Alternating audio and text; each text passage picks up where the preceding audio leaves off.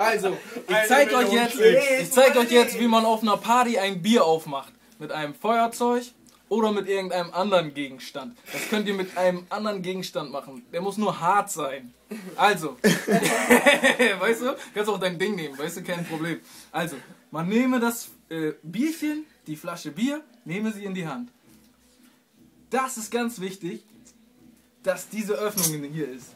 Dann nehme man das Feuerzeug, klemme es unter diese Öffnung, man nehme seinen Zeigefinger, halte fest, ta ta ta ta ta ta, und schon ist die Flasche auf. Ich finde auch geil den Nebeleffekt. Und das Ding ist, wenn ihr das jetzt nach diesem Tutorial nicht hinkriegt, ne, dann soll jeder auf der Party euch auslachen. Auf jeden Fall. Dafür haben die Kapuzenpullis erfunden. Ich trinke kein Bier heute.